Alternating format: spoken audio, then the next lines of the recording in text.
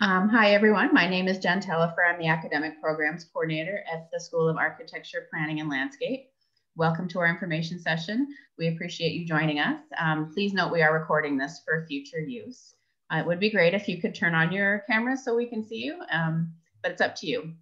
So before we get started, we would like to acknowledge and pay tribute to the traditional territories of the peoples of Treaty 7, which includes the Blackfoot Confederacy, comprising the Siksika, Piikani, and Kainai First Nations, as well as the Tsuut'ina First Nation and the Stoney Nakoda, including the Chiniki, Bearspaw, and Wesley First Nations.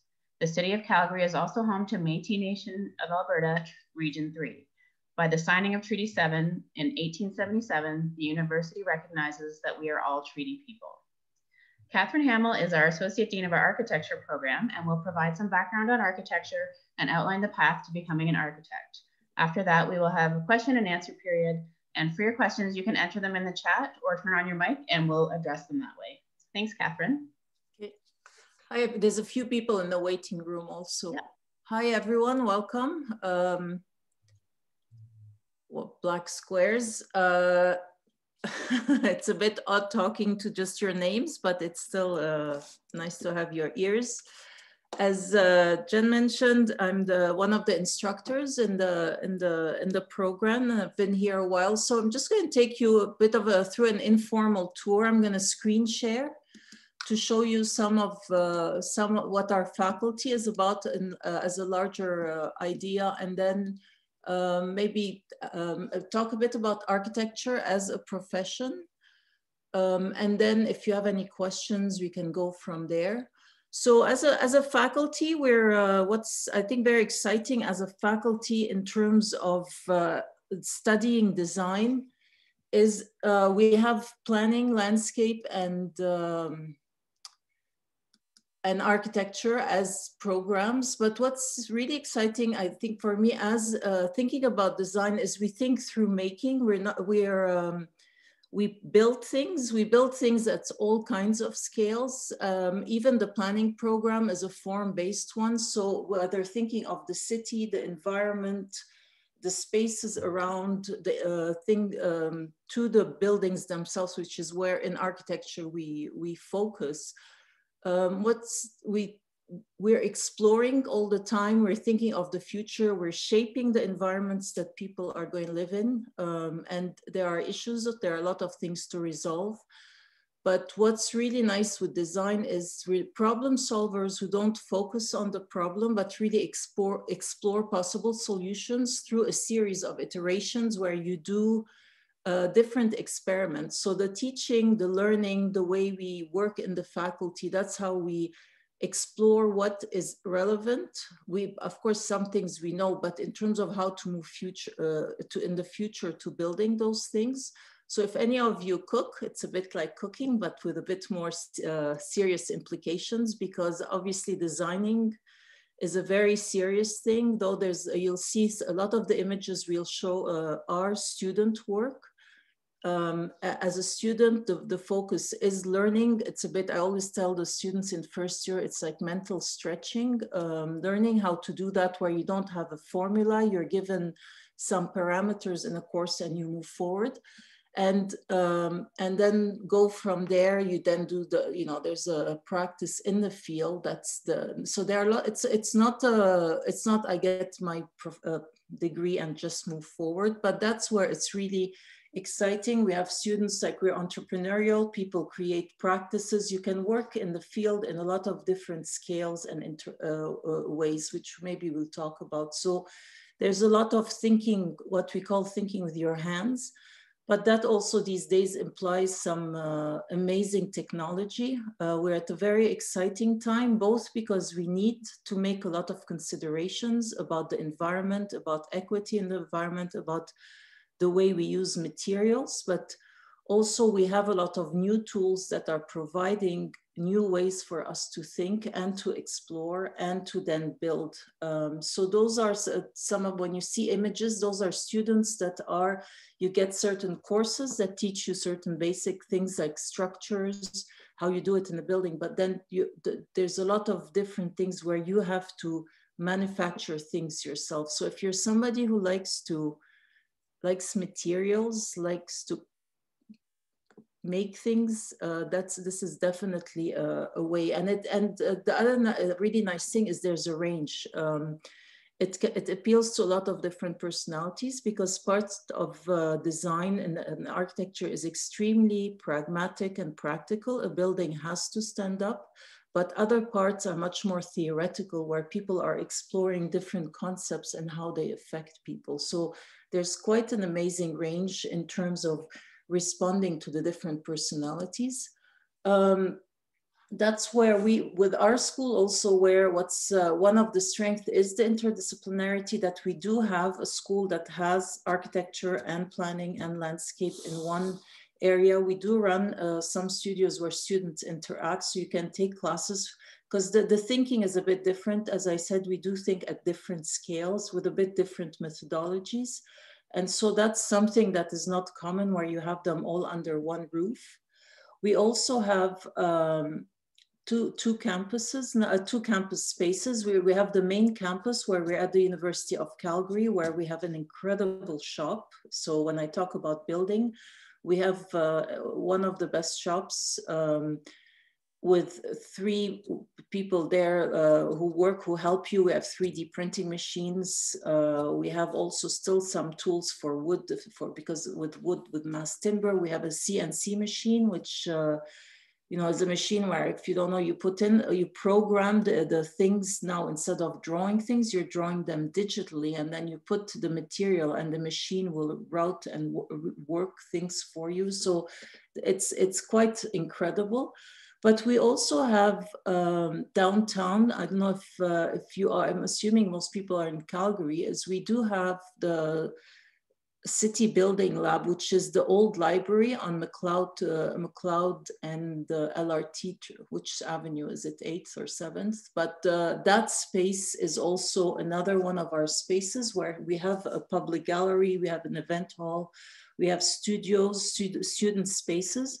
So when we talk about um, you know, building and making things, of course, it requires space. It doesn't work uh, just, although some people do build in their kitchen or in their basement, we do provide you with a with space where you can do these things. We also have robots um, at the downtown location and on campus, some robotic arms. There's some really exciting things in terms of where that is leading in terms of construction. Um, and the, the, the, digital fabrication lab. And there's information of all that on our website as well. They have Instagram images where you can see some of the things being built. Jen, if there's anything I missed you want to tell me, please uh, just wave and you can interrupt me. So this is the this is the downtown location which is we have the main floor where there are spaces and then we have a gallery so that student work as well as other architects and planners and landscape architects get uh, get work. These are some examples of models um, where the uh, you know things in terms of the output from students um, there's a lot of things building. We interact with the city, uh, discussing things. We have some of the city builders coming in, other architects from the, the practicing field. And then this is one where I think this Marc Boutin, one of our faculty member, um, you know, some of them are practitioners and build, um, and some are, are, it's very exciting where we have our graduating students who then open their own firms and come back and become colleagues as well. So these are examples. This is the shop, which is more, um, you know, and when we talk about being uh, having an entrepreneurial mindset in terms of what is being done, it's not where you do papers, give it to a teacher who, who tells you if you have an A, B, or C and how it's written. You actually build things. You get to engage with the community. Um, it's quite social because the responsibility is also social. Uh, we build uh, some of it is speculative where you're working on paper or on your on your screen and you present your work but some of it also is built and we have small scale things where things get built get uh, installed in the public space and you get feedback but you also enrich people's life through that. So that's where it's really an exciting thing. Um, we have there are different student groups uh, that that we have on campus so it is as i said before it is quite social we engage with each other. Um, you work uh, generally, I mean, with COVID now we're a bit uh, different, but we generally, you, you have a studio space, you create a really close community with your colleagues because a lot of learning happens with your colleagues. We also engage with the community we, uh, where you go out to a space and discuss and get them to consider things that weren't. And uh, so there's a whole range in terms of what that is. We also have now one of the things with youth with climate, with uh, sustainability is very important, as is equity. Um, and we have different student groups. A strong one these days is the equity in design education, looking at how things can be improved to make the world more, uh, more make design, which shapes the environment. Not all of it, because there's a lot of things aren't designed by, by by architects, but uh, that we can make a better difference to be more fair in our world and more just in the things we design, who we pay attention to when we design, how do we exclude, where is the authority in design and why? So there's a lot of questioning go, going on to, to shift some of these things. So that's also a um, really important time. So we, we have, um, I mean, I think for most of you, it's more, you, it's a route as a, from an undergraduate into the graduate program, but we also have, um, with the, with the technology, we have uh, masters and thesis students uh, the PhD level that do quite advanced uh, technological research and install it, looking at different aspects, whether it's structural, whether it's material or sometimes it's just a fun way of responding to an environment. So I did talk a bit about the community engagement. These are examples. So this is our mayor and we do have, we often have exhibits where the work, students work gets exhibited to a lot of uh, different uh, stakeholders from the community and get feedback. Um, we, these are some examples of some of the, the the things we build, we also run design camps in the summer for young people. Again, design thinking is a particular way of thinking that, uh, that is quite exciting in terms of just being able to manage different layers of information and coming up with forms and shapes through materials.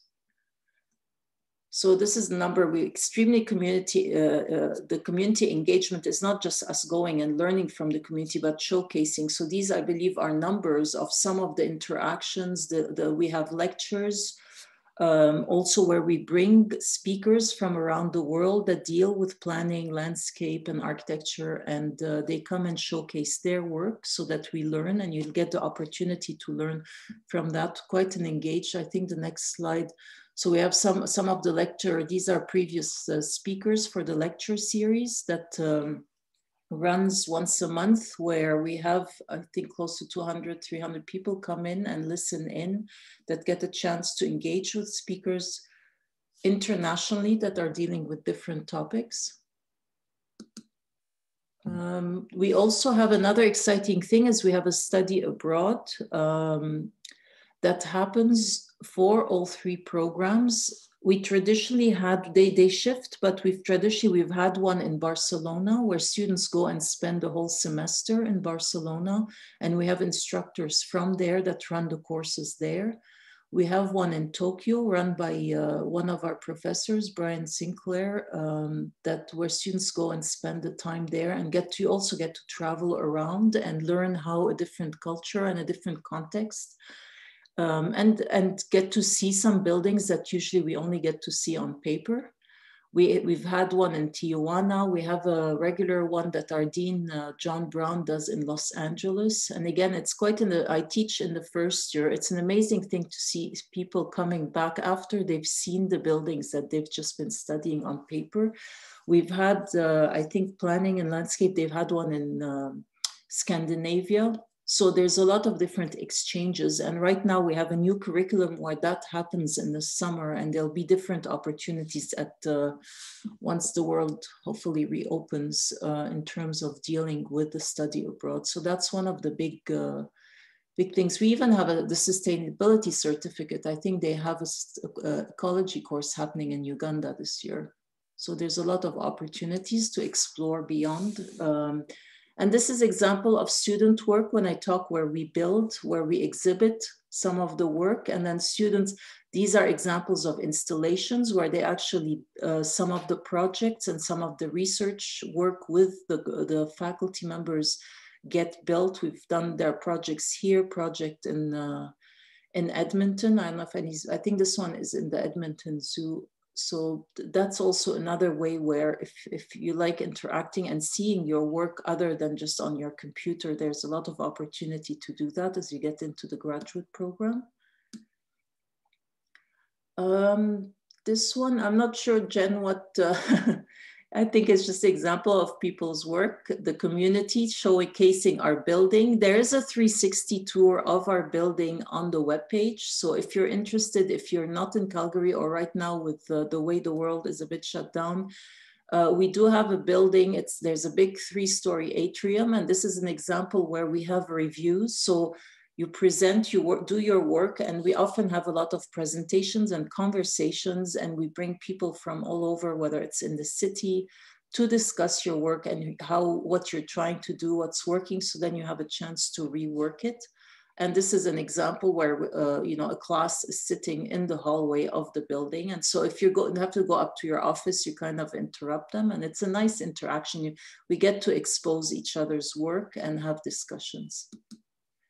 So Jen, do you want to talk about from high school to practicing architect?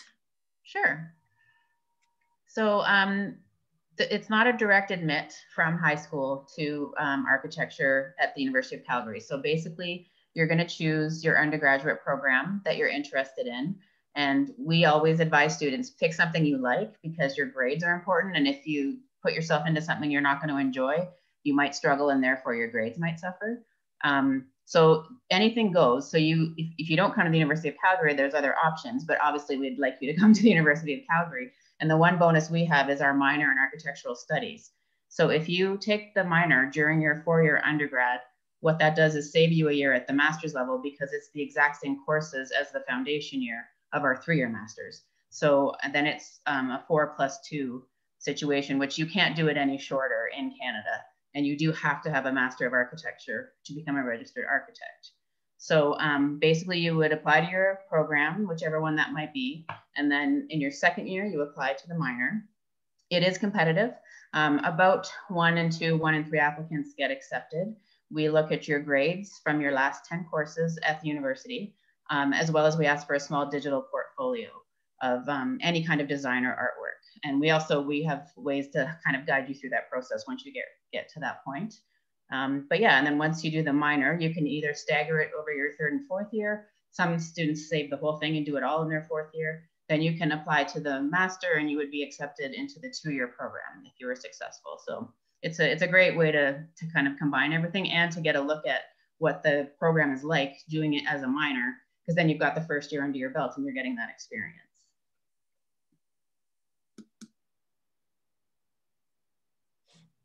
I think these are just helpful terms for high school students who might not be familiar with um, what everything means, especially um, kind of the acronyms that we use at the University of Calgary. So ARST minor might not be intuitive that it means architectural studies.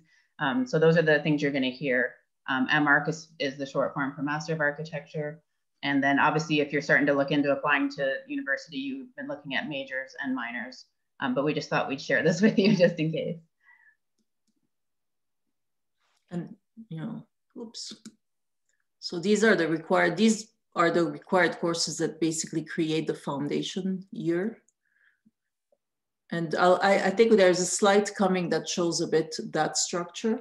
These are actually examples from a graphic course that I teach that showcases how we start working digitally, uh, working with Photoshop, embedding a form into that, but also 3D printing it. That's one graphics one. That's one of the things you do in the first semester.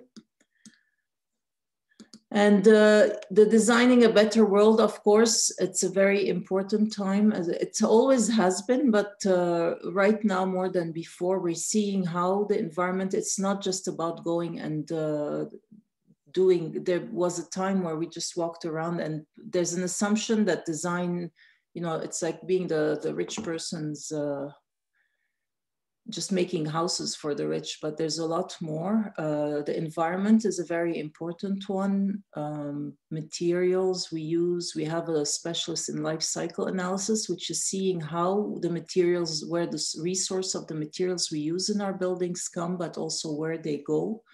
So that, that I think is coming. So those are just small examples of, uh, this is all student work in terms of some of the things. This was uh, students, the redesigning, thinking of how to redesign the building that we are in the downtown, not the whole building, but just the surface to upgrade it. These are actually first year students. This is those of you that are in Calgary. This is C Space, in case you know it, where we did some installations in the cubes in the front.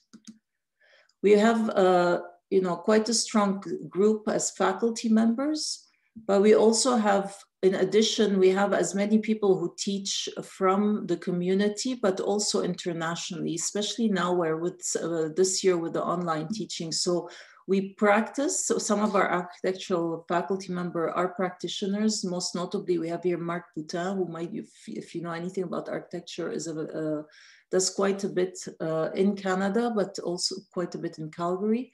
We also, we talk about where we have uh, Josh Taron, there's a book, you know, we do research in terms of some of the books, but uh, some of the di digital technology. But we also have what I was talking where we have the designing out waste to start looking at how we can design and not just most of the landfills we have are a huge amount of it is construction waste. And unfortunately, it's not even old construction waste, it's when they're building new materials. We have uh, Alicia just joined us, who's quite advanced in, in robotics. And so there's, there's quite exciting in terms of the range of people that you get exposed to. So Jen talked a bit about the minor. Once you get, we have the professional degree, which is the, the master's one. It, yeah, it's three years, or some students can come into the first year and then spend the two years. So that's what we call the M1 and M2. Again, those are examples of some structural studies. And then uh, without going too much into detail, is there is an underlying foundation is each year you have what's known as a studio course. If you come from an arts background, you would know a bit more, but uh, those are courses again where it's not lectures they're like labs they're like workshops where you're given some parameters some uh, for different scales of projects and you work um, the, the, maximum number of students is 15 to 1 in the in the class uh, with an instructor. So each year there is, each semester there's one, then there are some supporting courses, and then there are some electives. So you can then choose if uh, whatever your interest is, we give a range each semester where you get to select which courses you want to take that appeal to the, the theme that you are interested in developing the most. So these are just also another one. We have a work uh, when you get to the masters. It's I think very exciting. We have a new curriculum where we have the work. What's known one of those studios rather than always being at school. It's called the Work Integrated Learning Studio, where you actually work. We have different firms and we have small groups learning. It's not an internship, but you are working with the lead from those different practices, so that when you come out, you have uh, you have some. Uh, experience that starts in terms of going from the academia into practice because in architecture there is the education then you have an internship time you have a where you have to do a, a, period of work where you're you're recording your hours. There's a structure before you get do an exam to become a registered architect if not you're really not uh, legally a, an architect. You could have studied architecture but you're not technically an architect so, so it is. It's a, it's a very exciting. Uh, it's a very exciting field. I mean, for me, I, I love the from my end the, the teaching part is because, as I said at the beginning, you can approach it from so many different angles, and there is a whether you're a quiet person or, or a very uh, somebody who needs to interact there's room whether you're technical or whether you're more creative or whether you're both because we tend to always say we're one or the other. I think this is a this is a field that can accommodate not only one or the other, but this and that and that and. Uh, and the opportunities when people come out it's not just going and working in an architectural office there are a lot of things because of the mindset because of the the problem solving because of the the, the creativity, it's a highly creative field in terms of the problem solving. People go into all sorts of different back, uh, uh, scales and different things um, in terms of building. And I think the last thing is the school itself. Some of your best friends, students, uh, because of the studio interaction, the community build there gets quite intimate and people, well, we have students who get married, but also we have, create quite a, uh, intimate friendship um, that continues. And within Calgary, a lot of the practitioners, they're people I've been teaching for 20 years and seeing, as I said at the beginning, now they're, they run their own practices. They're challenging things, they're improving some of the environment. We have students, alumni that are at the city. So there's a lot of uh, different areas where people end up working and we can talk a bit more about that if people have questions. So I think that's the, the last slide. I'll stop sharing. And then if people have questions, you can either put your hand up or if you want to put it in the chat room.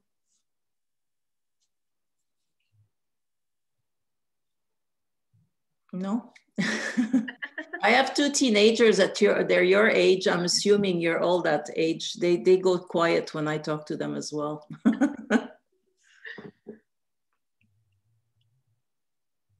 How many students do you accept each year? Well, for the minor, we usually accept around 20, um, 20, 25. So, and we typically get 40 to 50 applications, um, sometimes more. It kind of ranges every year. Um, for the Master of Architecture, the foundation year stream, we look for around 35 to 40 because uh, we will be splitting that class, or not splitting it, but combining it with the minors. So um, it's not as big of an intake. Um, and then for direct admits um, to the two-year program, again, it's not a full admit because our foundation year students are moving forward. So again, it's around 35, 40 that we accept. Last year, we had 280 applications for the master's program. Maybe we didn't talk, there are, I mean, we showed the numbers. There are a number of undergraduate courses. If you just want to take something to see what the school is about, what this design thinking is about. So we have one that's an introduction to architecture, the ARST 201 that's taught every year. We also have uh, Barry Wylant teaches a studio, an undergraduate studio, which is a really good one if you want to just get a feel for how studios run. And then uh, I think next year we will have one in landscape and one in planning as well. So those would be, if you're still questioning, I think those would be good ones uh, when you're in an undergraduate program to take. I guess the other question, Jen, is people go some uh, people. There is the interior design at Mount Royal that people that's a design school, but with that you still have to go into the foundation year. You don't get a, a direct admit. And the other one locally that people do is SAIT. Uh, you can get the. It's more of a architectural technology, and still, it's a it's a good background as a starter. But people do then go in. Still have to go into the foundation year when you, they come into our program. And Catherine, do you want to talk a bit about the portfolio um, in terms of the minor? And it's it's a smaller one that we only ask for six pieces, but maybe you could speak to kind of content and what we're looking for. Yeah, I mean, the portfolio is a way to present uh, Uh, the grades, I let Jen answer. I'm just sorry, I'm reading Sean's uh, one, but uh, the portfolio, just uh, the way we present it is really you're presenting yourself. Don't assume you have to be an artist or an architect. Um, it, it can include a range of things of what your interests are, the way you look at, so it could be photography, it could, uh, sometimes we even have writing, but it's more also the way it's presented, the way, the care with which something is put together um, sometimes people think, oh, I'm going into architecture, so I have to know how to draft a plan. And then they spend time drafting a, a plan of a suburban house. That's not really architecture. That's, you know, just uh, showing that you can do that is would be a small part, but it's more how you look at the world, what you pay attention to. If you're interested in social issues or you're interested in the environment, like starting to put that will show us who you are as a person and the range of things. We have students who build furniture. And so that becomes a good example, or some have done pottery or an art class. Like the making component becomes very important. You're a fantastic cook. You can put a picture of something you've cooked and the way you present it. Like those, don't, don't take all that out because that shows your mind, the way it absorbs things, the way it observes, could be the way people, you know, we've had fashion, like there's a whole range of what it means to design at different scales. And we do have the, there's examples of some of the portfolios, but we do also have sessions where you can sign up and get feedback. Um, the other thing I think the, for the undergraduate, there are some, one of the groups I didn't mention is there's a very active uh, group of future desi uh, design, future FDA, the future design, future design futures or future designs of architects and planners. So it's an undergraduate group and they run also, they have some, um, some workshops for people to introduce them to think about portfolios or introducing them into different programs like uh, we use Adobe Photoshop, Adobe Illustrator and things like that that can help people start to put a portfolio together. So the question about grades, um, basically, typically you're going to apply in February of your second year. So we're going to look at your courses starting the fall term before that and go back. So if you took five courses the fall before that, and then nothing in the summer and five in the winter of that year, those would be the 10 courses. If you weren't evenly spaced out that way, we would go into the final term to get those 10 grades. And if we only needed two courses out of your four, we would take the top grades from those courses. So um, if that's a bit confusing, um, you guys can always email me and I can explain how that works once you're closer to that time. But you know, obviously it's very important to do well in your first year. Um, maybe not your very first term would be counted based on when you apply, but um, definitely your second term and third term, and maybe summer courses as well, depending on how you do it. I also think for the portfolio, you know, as if you're in high school and you're still developing, you have a few years still, this application happens. There is, if people volunteer or where they commit some time to improve the things that are of interest to them, those are things that are very relevant. It shows engagement. As we said, community engagement is a big thing. We do have, right now it's all online. There might be, I would keep looking at the web page because we do have some of the student presentations. Uh, usually those are open. As I said, that we have the, the exhibit work, we have this the speaker series. And so if you are serious, just attending some of these, seeing how it is, it shows you what, uh, what going through the school is about, but it also starts to expose you to what the field is about, and that will start shaping the way you present yourself when you start applying. I just put our portfolio sessions in the chat. Um, usually it's people who are applying that year to that come in and, and uh, get their work reviewed. So um, if you're if you're just coming directly out of high school and applying to your undergrad this year, you know maybe it's not time yet but maybe you've done a lot of work already in high school. Maybe you took you know an architecture course or arts um, fine arts and you want to just kind of start to pull things together. Um, we'd be happy to meet with you for that as well. So um, and we do this every fall. So if you don't need us for that this year you definitely could, could keep an eye on our website and sign up for future years the other thing that's happening this year is we have, uh, as I said, usually we have the downtown gallery, but uh, it's not open this year, but we will have in the winter towards March, we have an international competition that's been set up on equity and we'll get some of the results and they'll be uh, put up in the window so you don't have to go in the gallery. And also the, when you can go window shopping for design student design projects. So at that lrt station by Macleod the city one there will there are some windows across from our building and we're going to start showcasing some student work and some research projects there. And right now there is a design built that's going up in front of the building. So that's something even if you walk by and you see some students building um, it's a good, I think, talking to students as you get closer. We have a student association and we always are open and it's, it's a very good way to just introduce, uh, make students talk to each other rather than, than this more formal way of presenting the program. You get a better idea. Yeah, and our, our SA is great, and they're offering to always connect with a future student. So if, if you'd like to speak with one of our current students, just send me an email and um, I can connect you with someone and they just, you know, happy happy to chat with you, like give you the student's perspective of the program. And we also have some that did the minor as well. So um, they know that, you know, that's an extra layer of, of questions that the student might have. So just get in touch and we can, we can take care of that. And yeah, with this, I know now being online, it's not easy and some people are quieter than others, but please don't just be bold and reach out. It's an email and uh, I know for me, it took me a while to adjust to it, but it is a, we're human and we're here and we're always excited like anybody who wants is thinking of design because i think a lot of it we're very passionate about it as a way of working as a way of thinking as a way of moving through the world and improving it. And we need a bigger community. Yeah. Okay. So I, I, any more questions no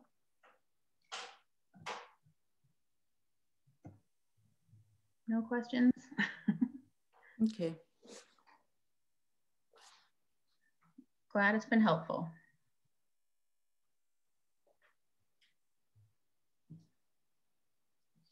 Well, hopefully I'll see, I, I don't, I wouldn't recognize you from your faces because I don't see them, but maybe I'll see you in a couple of years. I teach some of the foundation courses and it is always wonderful to see people from when they come in to when they graduate and the way things build up. It's a lot of work. It's not a sit back kind of program. Um, you just have to jump and play. okay. Thanks, Catherine, for that. And thank you, everyone, for coming. And just keep in touch. My email's in the chat. And um, obviously, you can find us on our website too.